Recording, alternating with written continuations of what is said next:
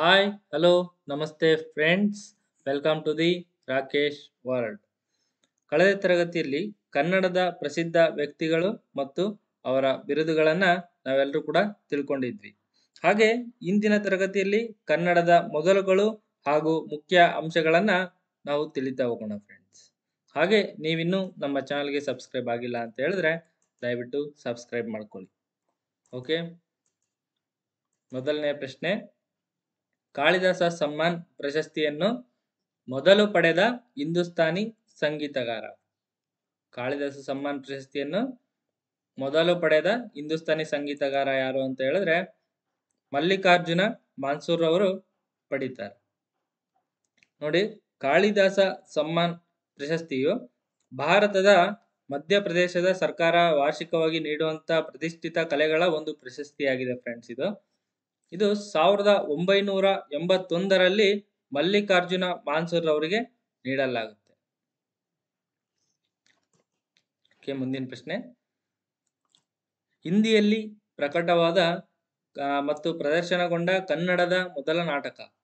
ಹಿಂದಿಯಲ್ಲಿ ಪ್ರಕಟವಾದ ಮತ್ತು ಪ್ರದರ್ಶನಗೊಂಡ ಕನ್ನಡದ ಮೊದಲ ನಾಟಕ ಯಾವುದು ಅಂತ ಹೇಳಿದ್ರೆ, ಕೇಳು ಜನಮೇ ಜಯ ಕೇಳು ಜನಮೇ ಜಯ ಎಂಬ ಒಂದು ನಾಟಕವು ಹಿಂದಿಯಲ್ಲಿ ಪ್ರಕಟವಾದ ಮತ್ತು ಪ್ರದರ್ಶನಗೊಂಡ ಕನ್ನಡದ ಮೊದಲ ನಾಟಕವಾಗಿದೆ. ಇದನ್ನ ಶ್ರೀರಂಗ ಅವರು ರಚ ಒಂದು ನಾಟಕವಾಗಿದೆ. ಮುಂದಿನ ಪ್ರಶ್ನೆ. ಲಂಡನ್ನಿನ ರಾಯಲ್ ಜಿಯೋಲಾಜಿಕಲ್ ಸೊಸೈಟಿಯ ಫೆಲೋಶಿಪ್ ಪಡೆದ ಮೊದಲಿಗ. ಲಂಡನ್ನಿನ ರಾಯಲ್ ಜಿಯೋಲಾ ಜಿಯೋಲಾಜಿಕಲ್ ಸೊಸೈಟಿಯ ಫೆಲೋಶಿಪ್ ಪಡೆದ ಮೊದಲಿಗ ಯಾರು ಅಂತ ಹೇಳಿದ್ರೆ, ಟಿ ಪಿ ಕೈಲಾಸಂರವರು ಪಡಿತಾರೆ. ಓಕೆ ಮುಂದಿನ ಪ್ರಶ್ನೆ. ಮೂರ್ತಿದೇವಿ ಪುರಸ್ಕಾರವನ್ನು ಪಡೆದ ಮೊದಲಿಗ. ಮೂರ್ತಿದೇವಿ ಪುರಸ್ಕಾರವನ್ನು ಪಡೆದ ಮೊದಲಿಗ ಯಾರು ಅಂತ ಹೇಳಿದ್ರೆ ಸಿ ಕೆ ನಾಗರಾಜರಾವ್ ಅವರು. ಸಿ ಕೆ ನಾಗರಾಜರಾವ್ ಅವರು ಮೂರ್ತಿದೇವಿ ಪುರಸ್ಕಾರವನ್ನ ಪಡೀತಾರೆ. ನೋಡಿ, ಆ, ಈ ಪುರ, ಈ ಒಂದು ಪ್ರಶಸ್ತಿಯನ್ನ ಭಾರತದ ಸಾಹಿತಿಗ ಸಾಹಿತಿಗಳಿಗೆ ಮಾತ್ರ ಸಲ್ಲಿಸುವಂತ ಒಂದು ಪ್ರಶಸ್ತಿಯಾಗಿದೆ ಫ್ರೆಂಡ್ಸ್ ಇದನ್ನ ಹಾಗೆ ಇಂಗ್ಲಿಷ್ ಭಾಷೆಯಲ್ಲಿ ಬರೆಯುವ ಬರ, ಭಾರತೀಯ ಬರಹಗಾರರಿಗೆ ಮಾತ್ರ ಈ ಪ್ರಶಸ್ತಿಯನ್ನ ಕೊಡಲಾಗುತ್ತೆ. ಮೊದಲನೆಯದಾಗಿ ಈ ಪ್ರಶಸ್ತಿಯನ್ನು ಸಾವಿರದ ಒಂಬೈನೂರ ಎಂಬತ್ ಮೂರರಲ್ಲಿ ಪಟ್ಟಮಹಾದೇವಿ ಶಾಂತಲಾದೇವಿ ಎಂಬ ಕನ್ನಡದ ಕಾದಂಬರಿಗೆ ಸಿ ಕೆ ನಾಗರಾಜ್ ರಾವ್ ಅವರಿಗೆ ನೀಡಲಾಗುತ್ತೆ. ಓಕೆ, ಮುಂದಿನ ಪ್ರಶ್ನೆ. ಕಬೀರ್ ಸಮ್ಮಾನ್ ಪ್ರಶಸ್ತಿ ಪಡೆದ ಮೊದಲಿಗ. ಯಾರು ಅಂತ ಹೇಳಿದ್ರೆ ಎಂ. ಗೋಪಾಲಕೃಷ್ಣ ಅಡಿಗ. ಎಂ. ಗೋಪಾಲಕೃಷ್ಣ ಅಡಿಗ ಅವರು ಕಬೀರ್ ಸಮ್ಮಾನ್ ಪ್ರಶಸ್ತಿಯನ್ನ ಮೊದಲು ಪಡೆದ, ಆ, ಮೊದಲಿಗರಾಗಿರ್ತಾರೆ ಫ್ರೆಂಡ್ಸ್ ಕನ್ನಡದ ಮೊದಲ ತಾಂತ್ರಿಕ ಪದಕೋಶ. ಕನ್ನಡದ ಮೊದಲ ಮೊದಲ ತಾಂತ್ರಿಕ ಪದಕೋಶ ಯಾವುದು ಅಂತ ಹೇಳಿದ್ರೆ ಔದ್ಯಮಿಕ ನಿಘಂಟು. ಏಳನೇ ಪ್ರಶ್ನೆ. ಕನ್ನಡದ ಮೊದಲ ಪ್ರಾಧ್ಯಾಪಕರು. ಕನ್ನಡದ ಮೊದಲ ಪ್ರಾಧ್ಯಾಪಕರು ಯಾರು ಅಂತ ಹೇಳಿದ್ರೆ T S Venkannaiah. T S Venkannaiah ಅವರು ಆಧುನಿಕ ಕನ್ನಡ ಸಾಹಿತ್ಯದ ಅಶ್ವಿನಿ ಕುಮಾರ್ ಎಂದು ಕೂಡ ಇವ್ರನ್ನ ಕರೀತಾರೆ. ಹಾಗೆ ಸಾವಿರದ ಒಂಬೈ ಸಾವಿರದ ಎಂಟುನೂರ ಎಂಬತ್ತೈದರಲ್ಲಿ ಚಿತ್ರದುರ್ಗ ಜಿಲ್ಲೆ ಚಳ್ಳಕೆರೆಯ ಬಳಿ ಇರುವಂತಹ ಒಂದು ಚಿಕ್ಕ ಗ್ರಾಮದಲ್ಲಿ ಇವರು ಜನಿಸ್ತಾರೆ ಫ್ರೆಂಡ್ಸ್ ಇವರು.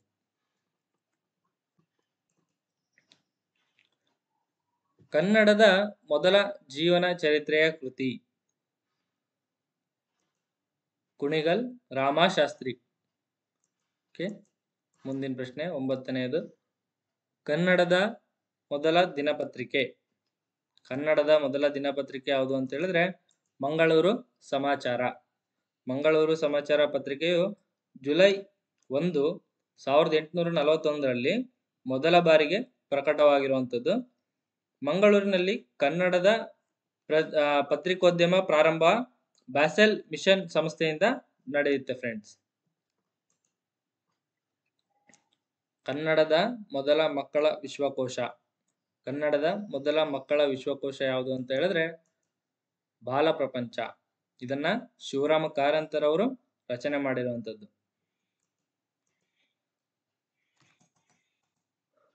ಮುಂದಿನ ಪ್ರಶ್ನೆ. ಕನ್ನಡದ ಮೊದಲ ಪ್ರಬಂಧ ಸಂಕಲನ. ಕನ್ನಡದ ಮೊದಲ ಪ್ರಬಂಧ ಸಂಕಲನ ಯಾವುದು ಅಂತ ಹೇಳಿದ್ರೆ ಲೋಕರಹಸ್ಯ. ಹನ್ನೆರಡನೇ ಪ್ರಶ್ನೆ, ಕನ್ನಡದ ಮೊದಲ ವೈದ್ಯ ಗ್ರಂಥ. ಕನ್ನಡದ ಮೊದಲ ವೈದ್ಯ ಗ್ರಂಥ ಯಾವುದು ಅಂತ ಹೇಳಿದ್ರೆ ಗೋವೈದ್ಯ.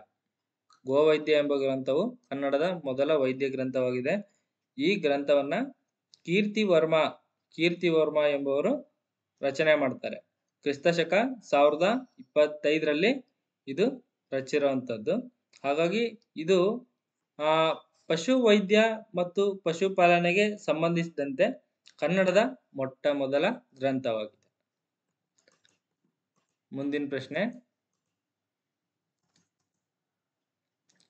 ಕನ್ನಡ ಸಾಹಿತ್ಯದ ಮೊದಲ ನಿಘಂಟು. ಕನ್ನಡ ಸಾಹಿತ್ಯದ ಮೊದಲ ನಿಘಂಟು ಯಾವುದು ಅಂತ ಹೇಳಿದ್ರೆ, ರನ್ನಕಂದ. ಓಕೆ, ಹದಿನಾಲ್ಕನೇ ಪ್ರಶ್ನೆ. ಕನ್ನಡದ ಮೊದಲ ಆಯುರ್ವೇದ ಗ್ರಂಥ. ಕನ್ನಡದ ಮೊದಲ ಆಯುರ್ವೇದ ಗ್ರಂಥ ಯಾವುದು ಅಂತ ಹೇಳಿದ್ರೆ, ಕರ್ನಾಟಕ ಕಲ್ಯಾಣಕಾರಕ. ಕರ್ನಾಟಕ ಕಲ್ಯಾಣಕಾರಕ ಎಂಬ ಒಂದು ಗ್ರಂಥವು ಕರ್ನಾಟಕದ ಮೊದಲ ಆಯುರ್ವೇದ ಗ್ರಂಥವಾಗಿದೆ. ಈ ಗ್ರಂಥವು ಜಗದ್ದಳ ಸೋಮನಾಥ ಅವರಿಂದ ರಚನೆಯಾಗಿರುವಂಥದ್ದು. ಹಾಗೆ ಜಗದ್ದಳ ಸೋಮನಾಥರವರಿಗೆ ವಿಚಿತ್ರ ಕವಿ ಅಂತ ಕೂಡ ಒಂದು ಬಿರುದಿದೆ. ಓಕೆ. ಕನ್ನಡ ಕರ್ನಾಟಕ ಕರ್ನಾಟಕ ಕಲ್ಯಾಣಕಾರಕವು ವೃತ್ತ ಕಂದಗಳಲ್ಲಿ ರಚನೆಯಾಗಿರುವಂಥದ್ದು. ಹಾಗೆ ಈ ಗ್ರಂಥದಲ್ಲಿ ಎಂಟು ಅಧ್ಯಾಯಗಳನ್ನ ನಾವು ಕಾಣಬಹುದು ಫ್ರೆಂಡ್ಸ್ ಇಲ್ಲಿ. ಅನೇಕ ರೋಗಗಳ ಸ್ವರೂಪ, ನಿಧಾನ ಕ್ರಮ ಮತ್ತು ಚಿಕಿತ್ಸಾ ವಿಧಾನವನ್ನ ಕವಿ ಈ ಒಂದು ಗ್ರಂಥದಲ್ಲಿ ವಿವರಿಸಿದ್ದಾನೆ. ಓಕೆ.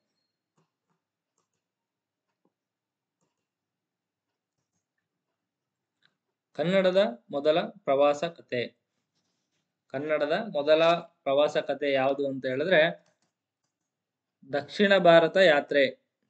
ದಕ್ಷಿಣ ಭಾರತ ಯಾತ್, ಭಾರತ ಯಾತ್ರೆ ಕನ್ನಡದ ಮೊದಲ ಪ್ರವಾಸ ಕಥೆಯಾಗಿದೆ ನೋಡಿ ಇದರಲ್ಲಿ ಕರ್ಕಿ ವೆಂಕಟರಮಣ ಶಾಸ್ತ್ರಿ ಸೂರಿ ಅವರು ಸಾವಿರದ ಎಂಟುನೂರ ತೊಂಬತ್ತರಲ್ಲಿ ಈ ಪ್ರವಾಸದ ಗ್ರಂಥವನ್ನ ಪ್ರಕಟಣೆ ಮಾಡ್ತಾರೆ. ಇದು ಕನ್ನಡದ ಮೊದಲ ಪ್ರವಾಸ ಕಥನ ಆಗಿದೆ ಫ್ರೆಂಡ್ಸ್ ಇದು.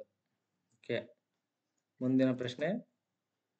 ಕನ್ನಡದ ಮೊದಲ ಗದ್ಯ ನಿಘಂಟು ಕನ್ನಡದ ಮೊದಲ ಗದ್ಯ ನಿಘಂಟು ಯಾವುದು ಅಂತ ಹೇಳಿದ್ರೆ, ಕರ್ನಾಟಕ ಶಬ್ದ ಶಬ್ದಸಾರ.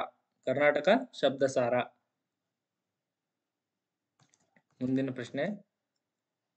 ಕನ್ನಡದ ಮೊದಲ ವಿಷಯ ವಿಶ್ವಕೋಶ. ನೋಡಿ ಕನ್ನಡದ ಮೊದಲ ವಿಷಯ ವಿಶ್ವಕೋಶ ಯಾವುದು ಅಂತ ಹೇಳಿದ್ರೆ ವಿವೇಕ ಚಿಂತಾಮಣಿ. ವಿವೇಕ ಚಿಂತಾಮಣಿ ಎಂಬ ಒಂದು ಗ್ರಂಥವು ಕನ್ನಡದ ಮೊದಲ ವಿಶ್ವ ವಿಷಯ ವಿಶ್ವಕೋಶ ಆಗಿದೆ. ಇದು ಕ್ರಿಸ್ತ ಶಕ ಸಾವಿರದ ಐನೂರಲ್ಲಿ ನಿಜಗುಣ ಯೋಗಿ ಅವರು ಇದನ್ನ ವಿವೇಕ ಚಿಂತಾಮಣಿ ಕನ್ನಡದ ಅತ್ಯಂತ ಹಳೆಯ ವಿಶ್ವಕೋಶ ದಂತವನ್ನ ರಚನೆ ಮಾಡ್ತಾರೆ. ಹಾಗೆ ಸಾವಿರದ ಒಂಬೈನೂರ ಅರವತ್ತೊಂಬತ್ತು ನವೆಂಬರ್ ಇಪ್ಪತ್ತೊಂದರಂದು ಕನ್ನಡ ವಿಶ್ವ ವಿಶ್ವಕೋಶ ಸಂಪುಟಗಳು ಕೂಡ ಬಿಡುಗಡೆ ಆಗ್ತವೆ ಫ್ರೆಂಡ್ಸ್ ಓಕೆ ಮುಂದಿನ ಪ್ರಶ್ನೆ. ಕರ್ನಾಟಕ ರತ್ನ ಪ್ರಶಸ್ತಿ ಪಡೆದ ಮೊದಲ ಕವಿ.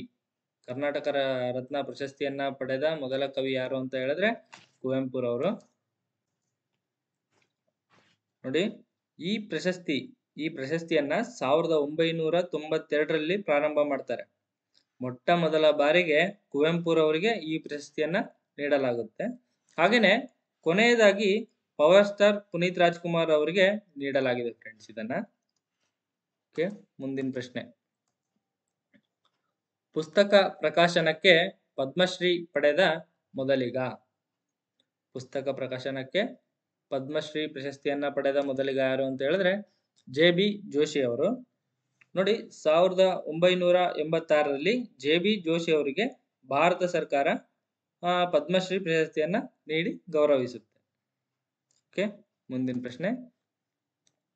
ಕನ್ನಡದ ಮೊದಲ ರಾಷ್ಟ್ರಕವಿ ಬಿರುದು ಪಡೆದವರು. ಕನ್ನಡದ ಮೊದಲ ರಾಷ್ಟ್ರಕವಿ ಬಿರುದು ಪಡೆದವರು ಯಾರು ಅಂತ ಹೇಳಿದ್ರೆ, ಮಂಜೇಶ್ವರ ಗೋವಿಂದಪ್ಪಯ್ಯವರು ಕನ್ನಡದ ಮೊದಲ ರಾಷ್ಟ್ರಕವಿ ಬಿರುದನ್ನ ಪಡೆದಿರುವಂತವ್ರು ಓಕೆ, ಇವರು ಮಂಜೇಶ್ವರಕ್ಕೆ ಭಾರತದ ಸಂ ಸಾಂಸ್ಕೃತಿಕ ಭೂಪಟದಲ್ಲಿ ಸ್ಥಾನವನ್ನ ಒದಗಿಸಿಕೊಟ್ಟಂತವರು. ಓಕೆ ಮುಂದಿನ ಪ್ರಶ್ನೆ. ಕನ್ನಡದ ಮೊದಲ ಐತಿಹಾಸಿಕ ನಾಟಕಕಾರ ಸಂಸಾವರ ಓಕೆ ಕನ್ನಡದ ಮೊದಲ ಐತಿಹಾಸಿಕ ನಾಟಕಕಾರ ಯಾರು ಅಂತ ಹೇಳಿದ್ರೆ ಸಂಸಾವರು ನೋಡಿ ಸಂಸಾವರ ನಿಜವಾದ ಹೆಸರು ಎನ್ ಎನ್ ಸ್ವಾಮಿ ವೆಂಕಟಾದ್ರಿ ಅಯ್ಯ ಅವರು. ಓಕೆ ಇವರನ್ನ ಕನ್ನಡ ನಾಟಕದ ಶೇಕ್ಸ್ಪಿಯರ್ ಅಂತ ಕೂಡ ಕರೀತಾರೆ.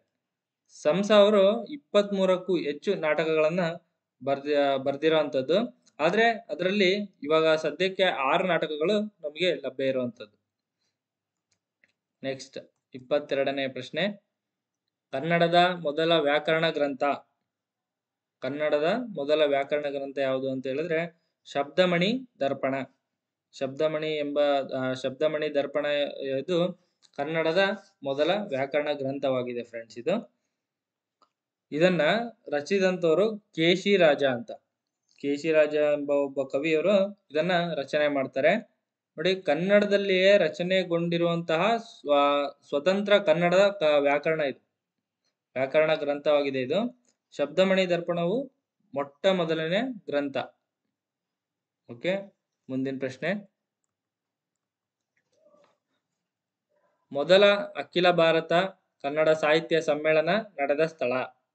ಮೊದಲ ಅಖಿಲ ಭಾರತ ಕನ್ ಅಖಿಲ ಭಾರತ ಕನ್ನಡ ಸಾಹಿತ್ಯ ಸಮ್ಮೇಳನ ನಡೆದ ಸ್ಥಳ ಯಾವುದು ಅಂತ ಹೇಳಿದ್ರೆ ಬೆಂಗಳೂರು. ಬೆಂಗಳೂರಲ್ಲಿ ಮೊದಲ ಅಖಿಲ ಭಾರತ ಕನ್ನಡ ಸಾಹಿತ್ಯ ಸಮ್ಮೇಳನ ನಡೆಯುತ್ತೆ. ಓಕೆ? ಕನ್ನಡ ಸಾಹಿತ್ಯ ಪರಿಷತ್ತಿನಿಂದ ಸಾವಿರದ ಒಂಬೈನೂರ ಹದಿನೈದರಿಂದ ನಡೆಸಿಕೊಂಡು ಬ, ಬಂದಿರುವಂತ ದೊಡ್ಡ ಪ್ರಮಾಣದ ಕನ್ನಡ ಸಮ್ಮೇಳನ ಆಗಿದೆ ಅದು.